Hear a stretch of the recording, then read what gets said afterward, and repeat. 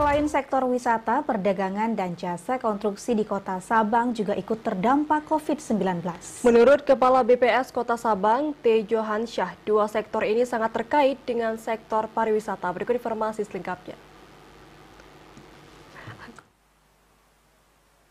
Jasa konstruksi dan perdagangan termasuk yang terdampak COVID-19 selain pariwisata. Badan Pusat Statistik atau BPS Kota Sabang sempat melakukan survei dampak pandemi pada pelaku usaha tahun 2020.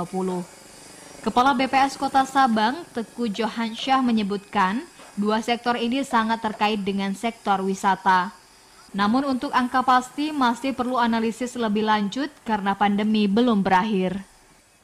Seperti ya wisata, ya aksesnya juga paling banyak ya. Kemudian konstruksi juga paling banyak yang menampung tenaga kerja kita. Ya kemudian juga perdagangan. Ya, ada ada keterkaitan antara daya beli. Ya orang tidak punya pekerjaan tentu ya tidak masukkan income-nya ya tidak ada daya belinya.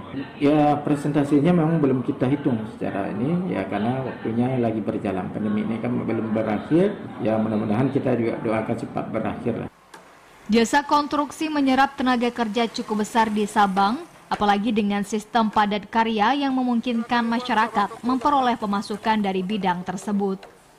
Dari pengakuan salah seorang warga Kuta Bawah Barat Kota Sabang Juli, sejak pandemi hingga September proyek pembangunan di wilayah ini sangat sedikit. Akibatnya sejumlah warga yang sebelumnya menggantungkan hidup dari jasa konstruksi jadi hilang lapangan pekerjaan.